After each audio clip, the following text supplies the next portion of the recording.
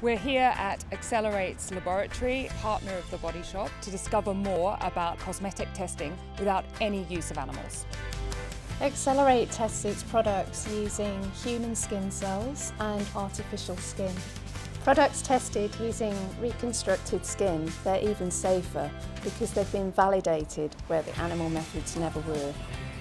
All cosmetics could be tested on reconstructed skin. If consumers put pressure on companies, there will be a global shift to cruelty-free.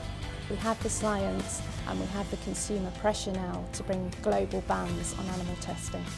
Our Forever Against Animal Testing campaign is going crazy. We have 7 million signatures, but we want to get to 8 so we can go to the United Nations.